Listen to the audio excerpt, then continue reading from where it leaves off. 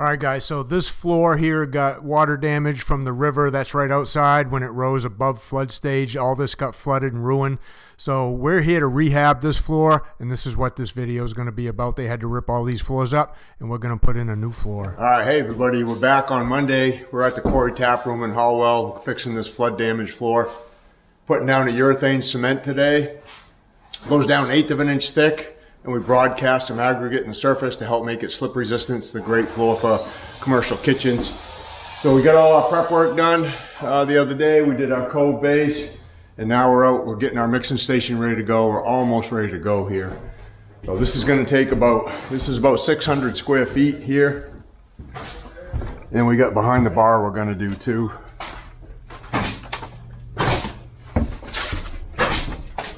Here's our mixing station. This is all our kits of urethane cement. Part A, part B, the aggregate we mix with it. I think we're ready to go, Darren. Yep.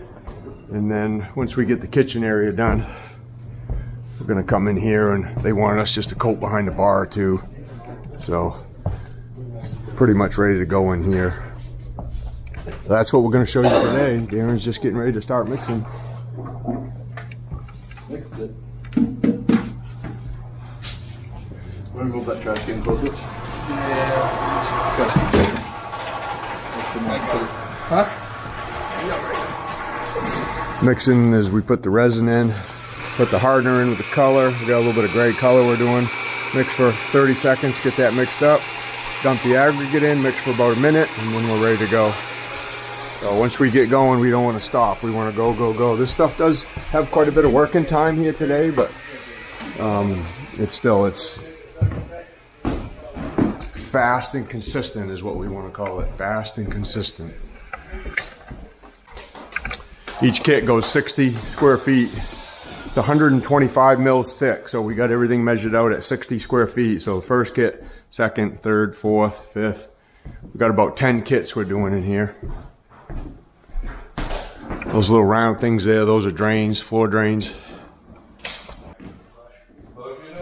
So the owners had that previous floor you saw in the beginning of the video ripped out, and then they had a carpenter come in and install new new plywood flooring over the original plywood flooring, which was which was okay underneath this.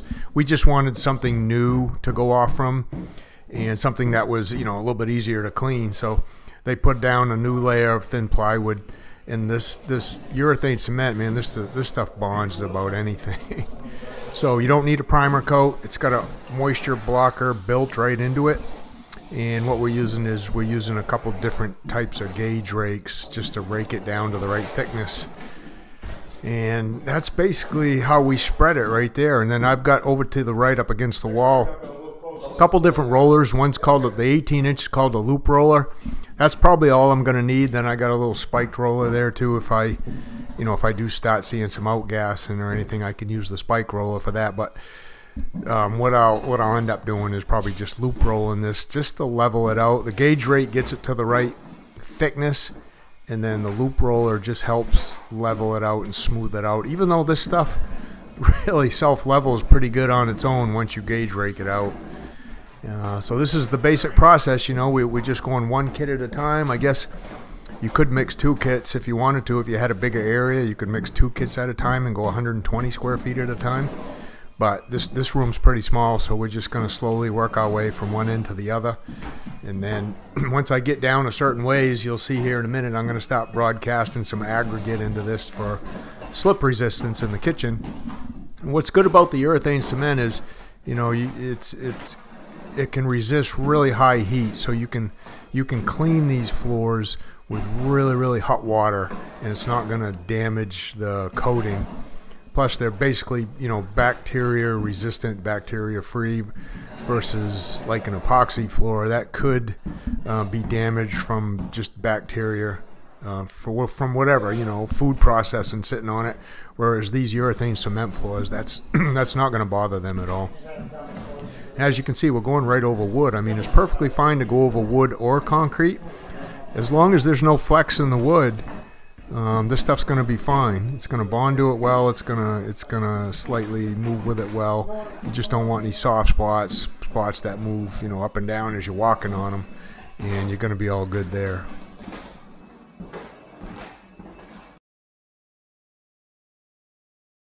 The way we like to do these is we like to have two guys in the mixing station, one guy just to keep mixing, keep keep the flow going nice and steady. One guy, you know, kind of dumping the product back. He's he's moving the product back and forth with and dumping it out of the bucket, and then one guy gauge raking it, and then one guy coming back with the finish process, which is what I'm doing. You know, I'm loop rolling it as well as you'll see me here throwing the aggregate. So with four guys, this works really really well. And this, like I said, this stuff here, this this is actually our first time using the ProRes product. We've used other companies' products before.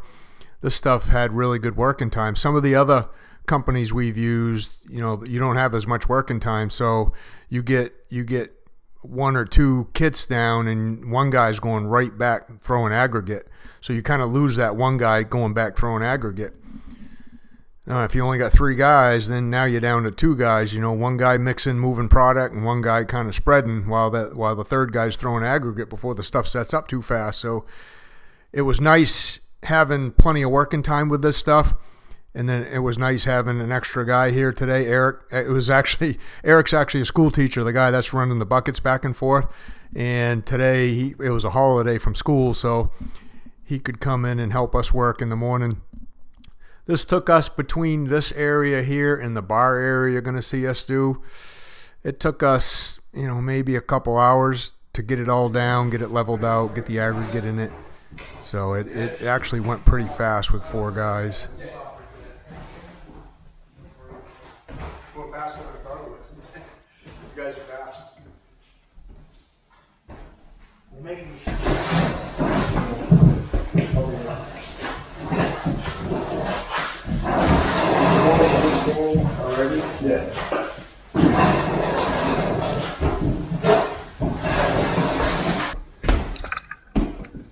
So far so good. It's going down really nice. Kind of self levels out after you loop roll it. And then you got to broadcast the aggregate in it. So the aggregate thing's a timing thing. If you broadcast it too early, it just keeps sinking down in the material. So, but you don't want to get on it too late.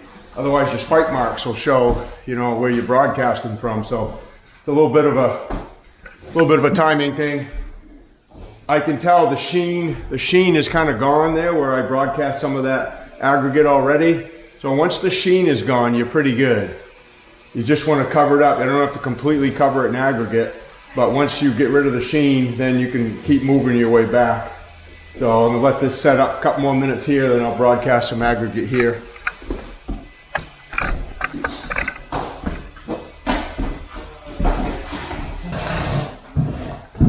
All right, so we're gonna finish rolling out here right by the stairs. We got that little piece left to do. We got stairs and we're over here and behind trying to get around these this corner and all these pipes right here. So that'll get us up out of this area. And then we'll be back, we'll be back when we uh, do the bar area.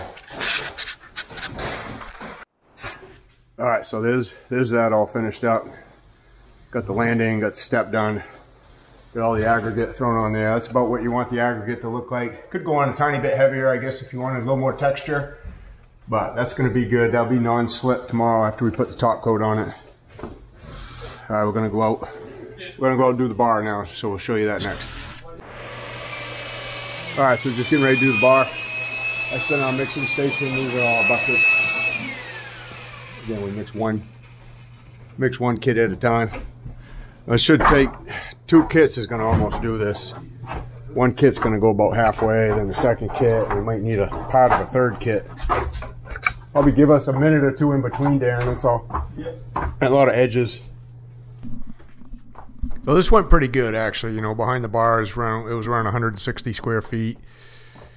Going right over, they put that new plywood right over that old stuff you guys saw. The old, the old stuff was just beat up a little bit from ripping the other floor out wasn't really rotten or anything like that. Just uh, rather than try to patch it and fix it, it was just easier to go right over the top of it. They had the room to go over it anyway because they're building up that other floor with that new hardwood flooring. So this is going to end up matching up pretty good with that. They got to replace all the floors in here. This is all going to be replaced with hardwood. This all got damaged. That down there, that piece down there had 16 inches of water in it. So they've already done the, the new floor down there. So they're getting there. They got about, hopefully a couple more weeks they can get open back up.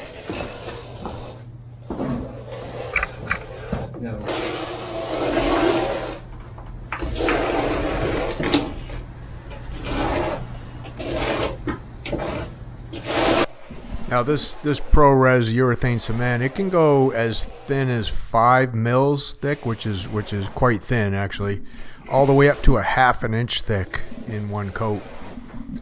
And it really like what we liked about it, what I liked about it was I almost really didn't need to loop roll this like this. It really self leveled out good after you just gauge raked it.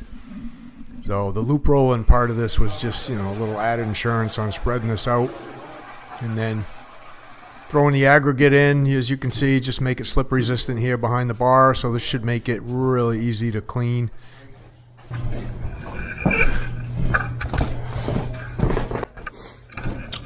All right, so that's gonna do it for today. We're gonna let that stuff cure up. We'll let it cure up overnight. Come back tomorrow. Basically tomorrow is just, you know, vacuum up any excess sand here and in the kitchen. And then we're ready to put the top coat on. The top coat is a very uh, chemical resistant epoxy. We're going over the surface, same color. Roll it on and we're basically done. So we're gonna clean up here today. We'll see you back tomorrow. All right, guys, so we're back at Quarry Tap for the finish coat. This will be our top coat. Just putting a gray chemical resistant epoxy over the urethane cement. A lot going on here today. So we're just getting, all we really need to do for prep today is vacuum up the excess the excess sand we threw down yesterday. So Luke's in there vacuuming that up. Bar area came out good. Probably do that second. We'll do the kitchen area first. Go check that out. Darren's got the mixing stuff all ready to go. This part's all ready to go. And here we are in here. Scrape that down with a floor scraper just, just to scrape up any excess sand, any little tiny nubs, scrape them down flat. And then we vacuum and then we're ready to go. So we're gonna put, it's a Novolac chemical resistant epoxy over the top, goes on about 130 square feet a gallon. So we'll scrape that down with a squeegee tight, back roll it, we'll roll up the edges, and then that'll be the finished coat for this. I'm gonna be get going here in just a couple minutes.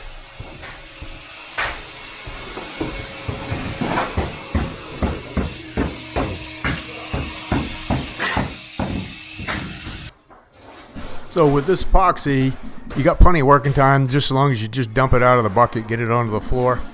And we decided to go with uh, about two gallons at a time. So we measured out, you know, our square footage was about 260. You can go 100 square feet a gallon up to like 130 if you want on something like this. We we'd figured we'd go 130, so we measured out 260, put a piece of tape. That way we know just how far we need to go and so that's kind of what we're shooting for square footage wise. And I mean, the stuff was really easy to work with. I it just went down smooth as butter, kind of.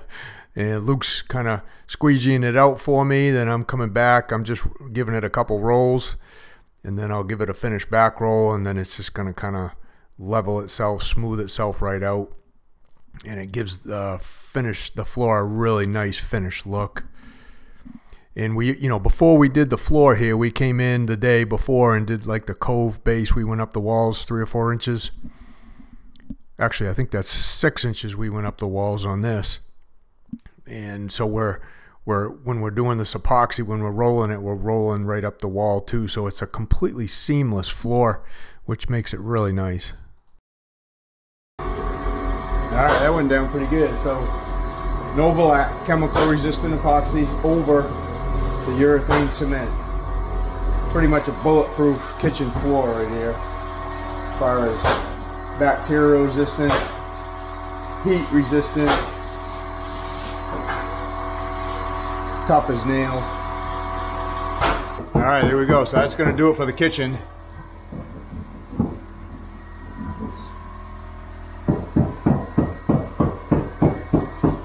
Looks good. It's gonna cure up really nice brand new floor. Uh, let's go get the, let's go get behind the bar.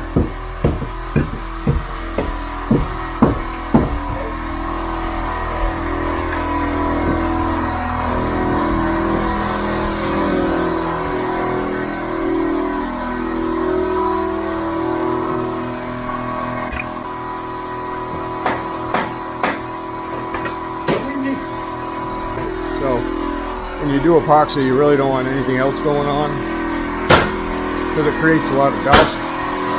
and then the dust is going to create bubbles or not bubbles, but little bumps, pimples like in the in the coating because of the dust settling in the coating. So I don't know, not much we can do about that. We told them.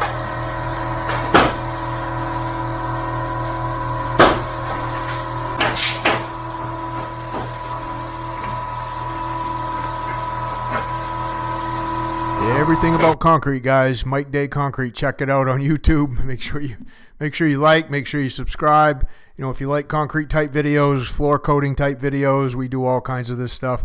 And then I also teach all this stuff in the Concrete Underground. So if you want to check that out, there's a link for it down in the description of the videos. And you can go in there. You know, can join the uh, the month, monthly membership, and I'm in there. You can you can talk with me in there. I'll help you with whatever you need. Plus, there's all the training videos in there. So make sure you check that out. All right, well that's gonna do it in the bar. So everything's done. A lot of work going on here today. Really loud. But they're trying to get everything back up and going. Here's the finished floor they got in there. Again, that had 16 inches of water in it, so everything got ripped up. New flooring. This all got flooded. This had a couple inches of water in it, so they had to rip up all the flooring, putting back down the new flooring. They're trying to open up in a couple weeks, so a lot of subs here today. Thanks for watching. We'll see you on the next one.